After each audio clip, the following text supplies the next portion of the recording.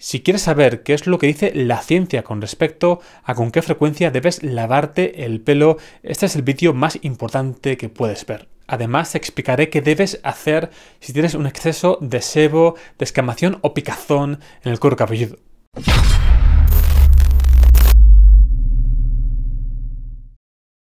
¿Cada cuánto tiempo debo lavarme el pelo? Estos últimos años he recibido cientos de mensajes de personas que me preguntan cada cuánto tiempo deben lavarse el pelo. Además, mucha gente que ha consultado conmigo creía ciegamente que lavarse el pelo de forma diaria era perjudicial para el pelo y el cuero cabelludo, y otra mucha gente pensaba que lavarse el pelo a diario era lo mejor que podían hacer. Y en este vídeo vamos a ver qué dice la ciencia con respecto a este tema. Pero ¿cuál es la tendencia actual de la sociedad en cuanto a la frecuencia para lavarse el pelo? Sin duda la tendencia actual es la de lavarse el pelo de forma menos frecuente, sobre todo en mujeres que tienen el pelo más largo. Dentro de poco vamos a ver por qué pero es que esta tendencia de lavarse el pelo de forma menos frecuente ha sido llevada hasta el extremo con el movimiento conocido como No Poo, un movimiento ciertamente popular que trata de evitar el uso de champús para lavarse el pelo. Y es que el movimiento No Poo cree que el uso de los compuestos químicos de los champús dañan el cabello y el cuero cabelludo, eliminando aceites naturales y sebo. Y como digo, este movimiento trata de eliminar el uso de champús convencionales para conseguir un pelo más sano, con un mayor volumen y una mejor textura y además una menor irritación causada por los elementos químicos del champú. Además, este movimiento trata de reducir el número de productos que se utilizan para tratar el pelo, como champús, geles y acondicionadores, y por otro lado trata de reducir el consumo de plástico. Y seguramente ahora te estés preguntando cuáles son las alternativas a los champús convencionales para lavar el pelo que propone este movimiento. Y una de las más populares es el uso de bicarbonato de sodio y vinagre de manzana. Pero, ¿qué ocurre con esta alternativa? Que si bien puede ser más barata que el uso de champús convencionales, la realidad es que utilizar estos compuestos puede provocar irritación en el cuero cabelludo y además puede provocar un desequilibrio en el pH de la piel. Y otra de las alternativas más populares que proponen los defensores de este movimiento para lavar el pelo es el aceite de coco. Y como te puedes imaginar, el uso de aceite de coco para lavar el pelo hace que sea mucho más difícil de lavar el pelo y además provoca que este se vuelva muy graso. Pero aquí no han acabado las alternativas que proponen los defensores de este movimiento. Otra alternativa ciertamente popular es el uso de acondicionadores para el pelo, es decir, en vez de utilizar champús y acondicionadores, solamente utilizar acondicionadores. Y seguramente esta sea una de las mejores alternativas que se proponen en este movimiento, puesto que el pH del cuero cabelludo no se verá alterado. No obstante, los acondicionadores no lavan el pelo de la misma forma que lo hacen los champús. Y por otro lado, para la gente que se apunte a este movimiento para reducir su consumo de plástico, pues esta no es una buena alternativa puesto que no se reduce el consumo de plástico.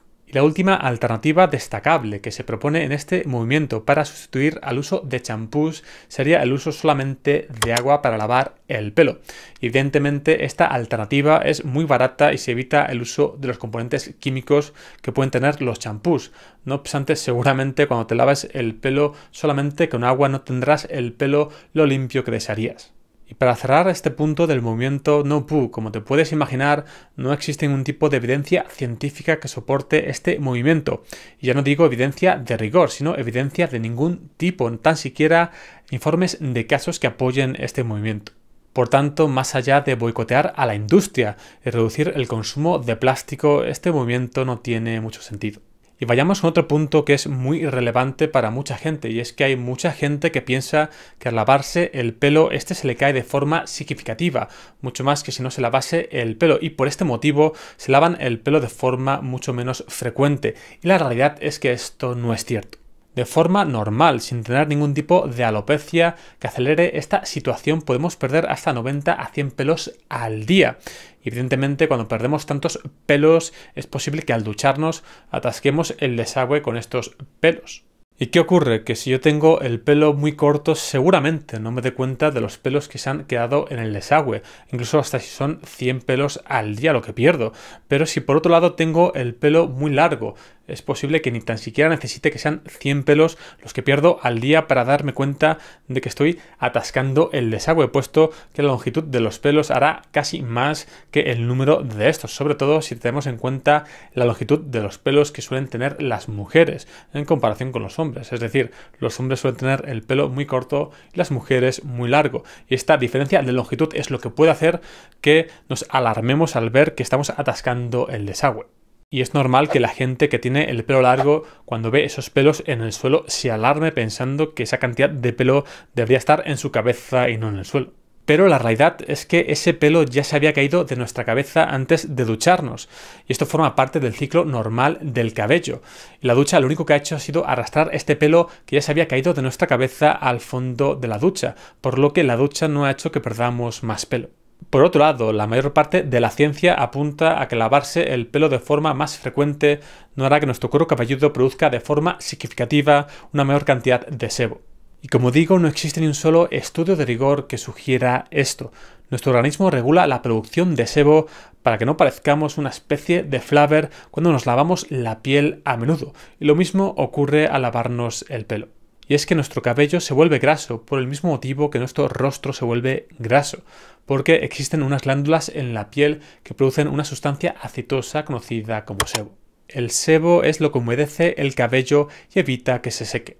Las glándulas sebáceas, que son las glándulas que se encargan de la producción de sebo, se encuentran junto a las raíces del cabello en la capa de la piel llamada dermis. Los canales de las glándulas sebáceas conducen al folículo piloso, así es como sale el sebo de la piel y llega al cuero cabelludo.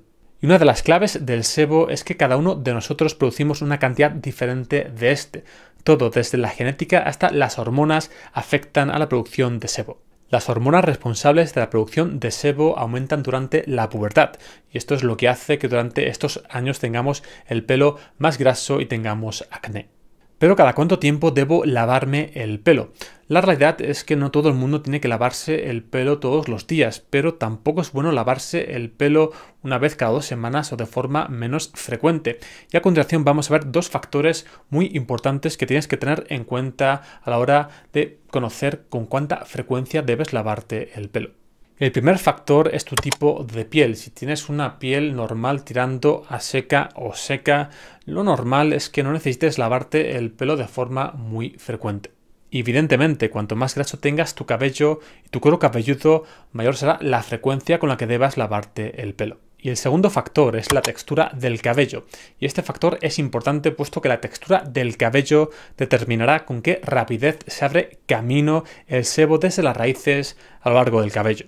El cabello áspero o rizado ralentiza la propagación del sebo, por lo que si tienes un tipo de cabello como este, deberás lavarte el pelo de forma menos frecuente. Por otro lado, las personas con el cabello fino y lacio seguramente deberán lavarse el pelo de forma más frecuente. Antes de seguir, si este vídeo te está gustando, dale a like. Y si te preocupa la salud de tu pelo, suscríbete al canal y dale a la campanita para no perderte ningún vídeo. Pero ¿cuál es la frecuencia de lavado ideal? Pues bien, dos estudios publicados en 2021, un estudio epidemiológico y un estudio de lavados controlados trataron de responder a esta cuestión. En concreto, estos estudios trataron de responder a la pregunta de si era mejor lavarse el pelo una, dos, tres, cuatro, cinco, seis o hasta siete veces por semana. Y el estudio de lavados controlados trató de esclarecer si era mejor lavarse el pelo una vez por semana o todos los días. En estos dos estudios se analizaron a poblaciones asiáticas sin patologías específicas del cuero cabelludo. Se realizó un estudio epidemiológico en función de la frecuencia de lavado natural. Esto se combinó con un estudio de frecuencia de lavado controlado.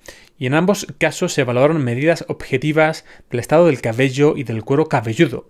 Y estos se combinaron con autoevaluaciones de todos los participantes. En concreto, el estudio epidemiológico analizó a 1.500 personas durante un periodo de dos semanas y el estudio de lavados controlados analizó a 60 personas durante un periodo de cinco semanas. El estudio epidemiológico observó que la satisfacción general con el estado del cabello y del cuero cabelludo se logró al lavar el cabello 5 a 6 veces por semana. Y estos resultados fueron consistentes con el estudio de lavados controlados. En este estudio, el cambio de una frecuencia de lavado baja una vez por semana a alta, 6 a 7 veces por semana, dio como resultado una disminución significativa en los parámetros técnicos de nivel de sebo del cuero cabelludo, el grado de escamación, la cantidad de lípidos sebáceos oxidados y el olor del cuero cabelludo. Y estos resultados fueron acompañados por mejoras autopercibidas correspondientes en estos mismos atributos, así como parámetros más complejos como la irritación del cuero cabelludo. Y no se observaron efectos secundarios objetivos para el cabello a este nivel de limpieza. Y es que los resultados de estos dos estudios son consistentes con los resultados de estudios anteriores, demostrando que una mayor frecuencia de lavado da como resultado una disminución de la descamación y la picazón del cuero cabelludo. Y quiero recalcar que en este estudio se analizó si al lavarse el pelo de forma más frecuente se produce una disminución significativa de los aceites naturales del cuero cabelludo y se demostró que esto no es así. Y estos dos estudios llegaron a la misma conclusión.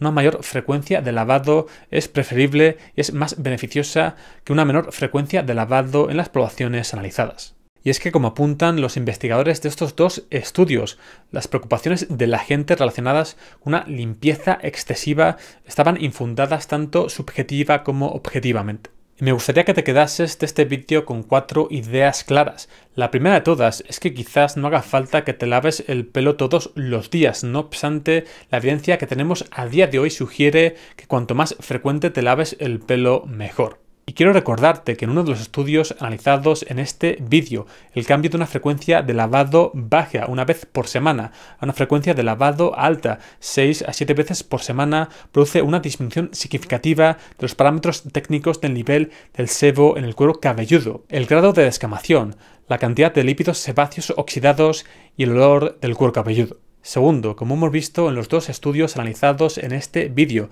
las preocupaciones por una limpieza excesiva del cabello eran infundadas tanto subjetiva como objetivamente. Tercero, el movimiento no pu que evita el uso de champús para lavar el pelo no está respaldado por la ciencia. Y por último, a pesar de que es cierto que necesitamos más estudios que analicen este tema en particular, estudios de rigor que analicen a una población lo suficientemente grande, a día de hoy, si te estás planteando lavarte el pelo una vez a la semana o todos los días, la realidad es que esta última parece la mejor opción. Por tanto, como ves, tanto si tienes el pelo graso como si tienes picazón en el cuero cabelludo o descamación en el mismo, seguramente lo mejor que puedes hacer es aumentar la frecuencia de lavado de tu pelo y con esto, como digo, mejorarás estos síntomas. Si quieres apoyar al canal, ahora tienes varias formas para hacerlo. Evidentemente, la forma más sencilla es dejando tu like en este vídeo y suscribiéndote al canal, pero también puedes hacerte miembro del canal y también puedes comprar algunos de los productos que recomiendo en la descripción de este vídeo. Y al hilo de este tema, si quieres saber qué peinados producen pérdida de pelo y por tanto deberías evitar, tienes que ver este vídeo de aquí. Y si quieres ver más vídeos como este, suscríbete al canal aquí.